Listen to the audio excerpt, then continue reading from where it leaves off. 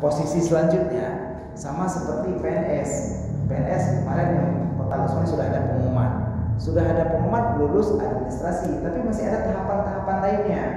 Posisi kita begitu dihalau, eh ke jejak, ke Pak Pak jejak. Apakah langsung hisap belum? Prosesnya tadi eh, padang mahsyar, tapi kita masih ada proses lagi. Proses kita di padang mahsyar tadi, posisi berdirinya beda. Posisinya berdiri eh, 120 baris, eh, satu barisnya lebar 40 tahun, panjangnya 60 tahun. Eh, tiga baris orang beriman, lainnya orang kafir. Itu posisi kita di padang mahsyar pertama habis mungkin. Begitu ini disuruh jalan lagi, posisinya berubah barisannya. Yang mukmin sama mukmin, yang kafir sama kafir, yang munafik sama munafik. Otomatis posisi berubah. Berarti ini jalan lagi dari posisi kita tadi. Matahari masih berada di atas kepala, tapi kita sudah berada di bawah naungan. Ternyata kita berdiri di situ pun nggak lama. Nggak lama artinya apa? Orang beriman kan di bawah cahaya. Ternyata orang beriman ini yang di bawah cahaya ada lagi orang-orang spesial. Ada orang-orang spesial yang boleh berlindung di bawah naungan arash. Jadi tahapannya tetap terlewati. Pertama kita direndam dalam air yang lengket itu setelah itu kita berdiri 40 tahun dalam panas matahari.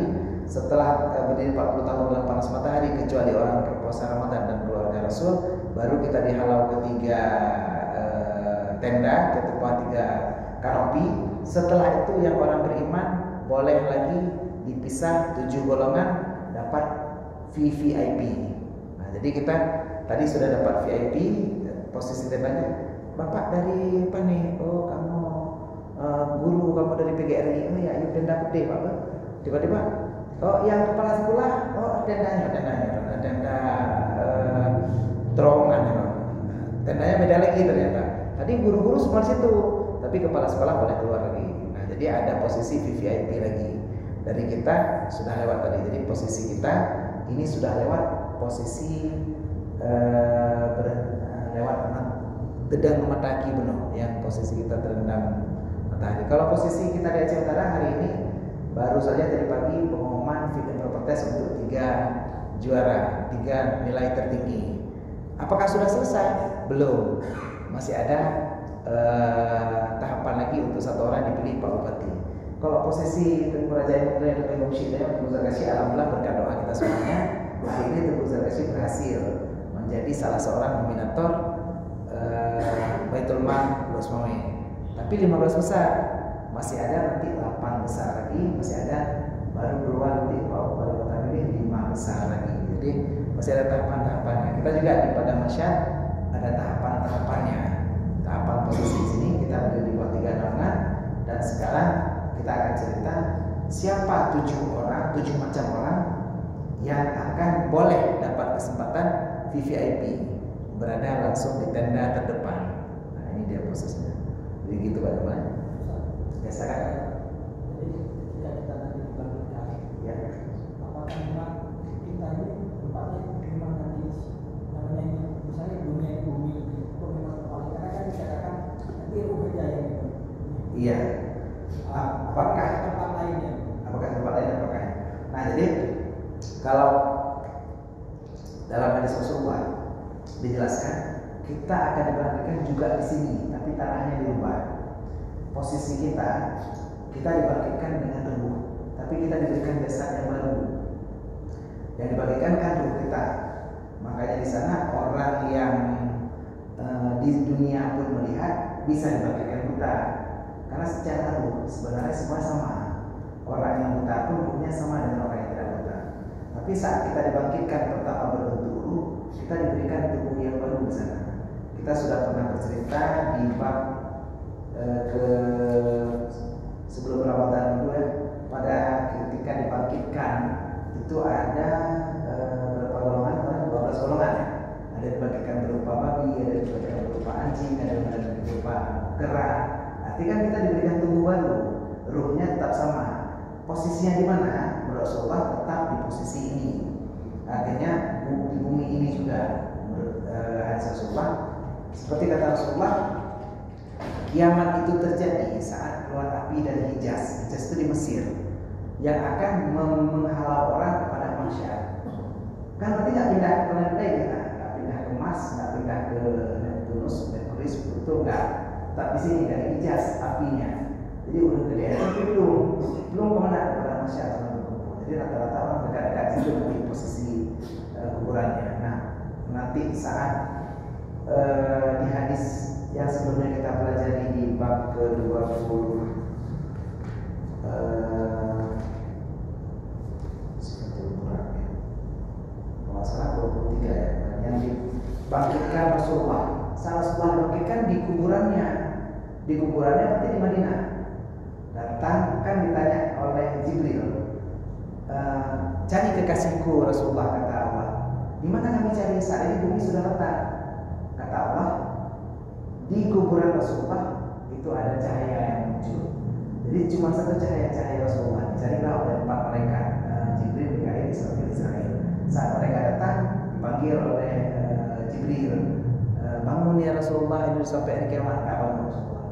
Dipanggil oleh Mikail bangun akhirnya dipanggil oleh Israel baru bangun kan terakhir begitu bangun dipakaikan pakaian hijau dan putih baru naikkan kuda baru pertama inilah prosesi kita akan dibangkitkan. Saat itu Rasulullah bertanya ayat umat itu di kuburan Rasulullah. Berarti posisinya di masjid Nabawi sekarang makanya ada beberapa mengatakan posisi kita paling dekat itu di eh, yang di kuburan Bake itu paling dekat kepada masyarakat. Ada riwayat. Cuman nah, minggu yang lalu kita belajar pada masyarakat dibangkitkan di posisi Baitul Maqdis jadi di Palestina. Jadi posisinya tadi apakah di bumi ini Allah alam tapi sepertinya dari hadis-hadis sepertinya di bumi ini. Karena cerita kemarin di uh, Palestina ya mungkin kan ada ayatnya kemarin ya yang kita cerita ayatnya saya lupa juga. Tapi ada, ada kita pernah baca kemarin bahwa itu dibangkitkan posisi uh, pada masyarakat di Palestina ada dua ya kalau yang cerita dibagi itu tidak ada terbaca di sini hadisnya apa itu? Bisa ada jadi kurang lebih kalau kita dapat bayangkan mungkin Rasulullah dibangkitkan di uh, posisi Madinah di bawahnya kita Palestina. Bisa jadi memang ini di Palestina. Di posisinya itu ada bumi ini kemungkinan besar situ di bumi ini. Allah ya siap. Allah saya lebih suka ada yang tanya daripada baca kali ngaji. Ada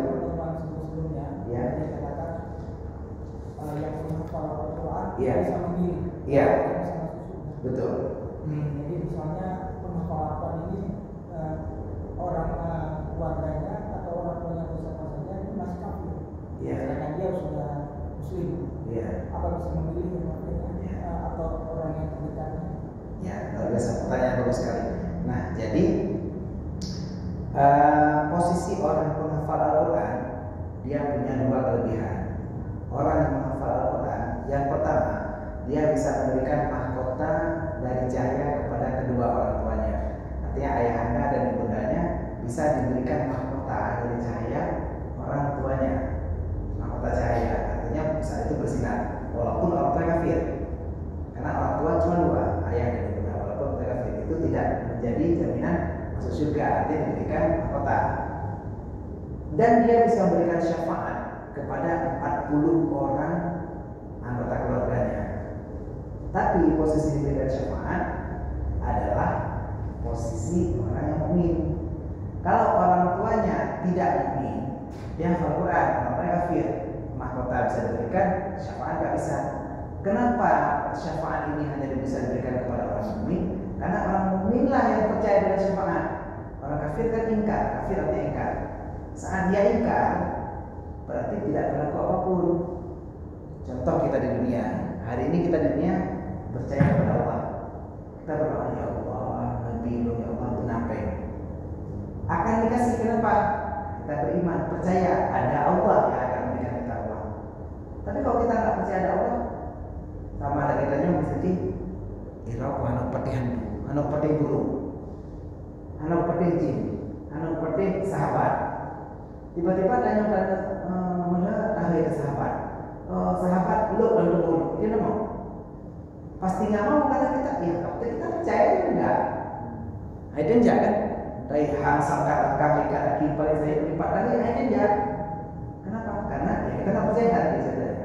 Posisi orang beriman dia punya fasilitas, sudah punya slot, sudah punya ibaratnya tanya karena ATM. Ada kurung-kurung saldo, kita rumah, syafaat itu tambah saldo. Kalau orang kafir nggak punya ATM, nggak punya tabungan, mereka kirim pes dulu, Pak kirim, Pak nomor gini, ah karena nomor gini, kirim, Pak kirim. Permasalahannya kita nggak bisa top up, nah, syafaat itu top up, top up saldo. Jadi bagaimana kita tambah saldo kalau dia nggak punya rekening? Sama seperti orang bilang, orang kafir adalah orang yang tidak mendaftar di kampus atau di sekolah. Orang mukmin, orang yang mendaftar di sekolah, iman, iman itu mendaftar. Kalau dia beriman lagi taat, dia sudah sekolah, pandai, pinter. Tapi kalau dia uh, tidak rajin ibadah, ada tidak mau kuliah tapi bangai walaupun bangai-bangai adanya mantan dapat lagi dulu. Baca adanya kuliah Unima uh, Pak Herman dah dulu. Saya anak lo mana lo kan bahasa IP dapat anak? Pas ada home dari padu dan 20 tapi IP ada IP nya maksimal pun jadi tahu kan dan dulu saya tambah nilai di macam mengenai iklan itu mereka iklan menjadi padu NIM mana NIM nomor induk mahasiswa kalau dia sudah mendaftar di kampus sudah ada NIM-nya, sudah ada nomor induk mahasiswanya. Oh nomor ini sekian, ojek oh, tuh kalian kalian di depan apa? Oh maknya nilai seron berat tak tapi ojek salah. Oke dapat, kan ada dalam napat menteng ke Bandung karena mahasiswa ini mal. Seadanya enggak Pak Herman uh, anak lo mentulung satu Bandung. Anak lo Pak Pertiwi, ya nama jadi karena memang tak kuliah itu ibadah dulu memangnya. Posisi kita mau masuk memberikan syafaat kepada orang tua kita yang kafir ataupun kepada keluarga kita yang kafir. Dia percaya apa enggak? Kalau dia tak percaya dengan Allah, bagaimana kita mau tolong sama Allah? Uronya tanya sembahyang dong. Sembahyang dong, dong sah dong. Udah tepat dan ho kiblat anak dong. Duit kita cengok kiblat. Kasih wamu ado kiblat. Itu namanya tiba-tiba gempa tanya Allah bantu dulu ya Allah kita mau minta sama siapa? Sama Allah Allah yang mana? Selama ini pernahkah kita menyembah Allah? Pernahkah kita kenal Allah? Kalau nggak kenal kita mau minta sama siapa sebenarnya? Ya kan itu iman. Kalau kita iman itu percaya. Hari ini doang sujud. Kenal sujud dan tinggal sujud menyembah Allah kalau Allah kita nggak kenal siapa yang kita sembah Inilah maksud iman. Artinya kan ada sesuatu yang tidak bisa kita lihat, tapi kita percaya iman. Kalau kita tidak ada iman, semua proses tidak bisa dibantu. Ay, mereka dulu kan beriman mereka iman. Apa yang ada? Delo, apa mereka dulu Saat kita masuk ke kantor bupati, kita bupati yang ada iman. Apakah contoh menolak? Kita dulu eh, mantan kabupaten, hanya pemerintahan Jawa nya katanya sifat ini Jawa NKRI nya nama anak betul tiba-tiba ada yang berada dulu ada dulu Pak? Puji dulu ke gubernur puji dulu tapi kamu nggak percaya pemerintahan sifat Jawa ini. Kan kita nggak suka tolong karena kita tidak masuk bagian itu menyokah seperti tapi bendera. Kemudian yuk kalau mau jadi gubernur tapi bendera. Merah putih nggak boleh bendera merah putih kita kalau kamu mau percaya dengan Allah ayo ucapkan syahadat itu buktinya kita masuk kelompok Islam. Jadi keluarga yang bisa diberikan syafaat hanya keluarga mukmin. Kalau keluarga mukmin kita punya anak tanya hafal Quran. Tanya nak semaya tapi nak guru-guru. Artinya mungkin pada maknina sampai daerah ada suara lebih ini tanya segera ke kata ada anak tak sempurna udah rokok rokok seperti di depan oh tanya udah tepat kan mungkin yang ibadah kuliah ada tanya hai Allah membantu nyawa aku sih lo ah, nek ni lo dibantu kenapa dia punya fasilitas punya kedekatan dengan Allah dan ada Al-Quran sama seperti tadi ada orang yang dekat dengan rektor ada orang dekat dengan bupati bupati nanti lo nyok siapa lo kita dekat dengan bupati saling ngomong bupati dengar ini namanya syafaat bisa dipahami dalam kita sekarang ya. Nah, sebelum sedikit azan kita baca mudah-mudahan ada kita di antara tujuh orang yang Allah akan berikan naungan arash. Itu VVIP sekali memang luar biasa mudah kita dapat di sini. Siapa yang pertama? Imam adil. Imam yang adil Pemimpin yang adil. Mudah-mudahan jadi uci Jet ke kadus Jet ke keplor Jet ke tengku imum Jet ke pemimpin di mana pun Walaupun dalam skop kecil Tapi kita adil. Adil itu memberikan sesuatu sebagai uh, Sesuai haknya. Pansi berarti ke kaur pembangunan Dengan kaur tidak bisa sama rata. Yang penting sesuai dengan tupoksi dan tupoksinya. Tupoksi raya tupoksi raya sini tupoksi ugut ya. Juga pokok dan tupoksi tapi tupoksi ugut sih pelakunya. Itu namanya imam adil insya Allah masuk yang kedua syabun nasya'a fi ibadatillah. Nah ini mungkin masuk kita. Para pemuda yang selalu rindu dalam beribadah mudah-mudahan kita tahu ulama mudah mudah-mudahan kalau tuh bukan jomblo muda pemuda masa depan gitu kan? Nah pemuda-pemuda ini yang rindu beribadah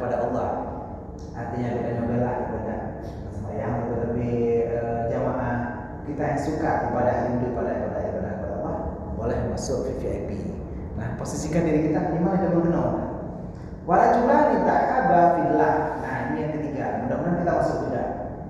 Dua orang laki-laki yang saling mencintai, bukan lagi saling mencintai atau saling akrab. Uh, karena Allah. Bahkan kalau dengan dengan Pak Maswani, belum kenal dengan Pak Maswani karena mana sampai gelap jauh masjid, sampai asal masjid sampai kepada jamaah. Saya suka berteman bukan karena di kantor, tapi karena beliau ahli masjid. Hanya galak dengan gurunya karena dia dekat kepada Allah. Rajulani dua orang laki-laki atau perempuan yang sama-sama saling bersahabat, saling akrab, saling mencintai karena Allah. Maka dong ada orang Pak Jamal, bu baik baik ada orang menyerah bukan karena yang galak sebenarnya Kalau kita suka sama orang karena dia pintar agama, ngandung roh roh ibadah tapi itu kita masuk golongan ketiga, insya Allah VIP. Nah, kita bisa masuk kedua dan ketiga. Kalau kita bukan VIP. Siapa lagi? Warajulun talabat humra'atun zatu jamalin faqala inni akhafu Allah rabbul alamin. Seorang laki-laki yang dirayu akannya oleh perempuan yang cantik. Lalu dia berkata, sesungguhnya takut kepada Allah Tuhan pemilik segala alam. Dok tanya, dirayu oleh seorang apa? Nanti lah dulu, eh lah dulu. Oh baik, dulu dia kepada Allah. Syaratnya perempuan cantik, nek ada ada ada kantor dulu nanti. Jadi posisi ini perempuan cantik kita kita kita nggak mau dan berkata, dok lagi lu namanya ya rayu bibi ada tim ya. Karena itu kalian hari ini belumnya posisi kita nggak mau gara-gara kalian gara-gara kita takut kepada Allah. Nah, itu yang keempat. Nah kita bisa masuk sini siapa yang terima sekali lagi? Warajulun zakarallahu ta'ala khaliyan fafadat ainahu min ad-dam'i min khasyatillah dan orang-orang di malam ini kita bisa lakukan yang mengingat Allah dalam keadaan sunyi maka tumpahlah air matanya penuhlah matanya daripada air mata karena takut kepada Allah malamnya. Ngebeder posa kodwa kodhe koput neduk siro nebayangkan desyara dari pun sampai ino. Bedeki insya Allah masuk dalam golongan kelima. Sekali lagi, warajulun tasaddaqa bi yaminihi fa akhafa ma'an shimalihi dan yang keenam orang yang bersedekah dengan disembunyikannya sedekah daripada tangan kirinya. Jadi waktu sedekah menjauh jauhi mudah, ya bu. Yang lain nyantuk bersama sedekah. Jadi jauhi pisau juga karena para jual mu'allakun kalbuhu bil masjid. Nah yang terakhir karena azan sudah mau berkumandang mudah-mudahan kita usahakan semua. Warajulun mu'allakun kalbuhu bil masjid orang yang hatinya terikat dengan masjid. Lah insya Allah kita semua orang-orang Allah kita dalam golongan VIP boleh naung di bawah naungan arasnya Allah amin amin ya rabbal alamin. Demikian saja pengajian kita hari ini. Semoga memberi inspirasi dan motivasi. Ada Allah yang lebih baik wassalamualaikum warahmatullahi wabarakatuh.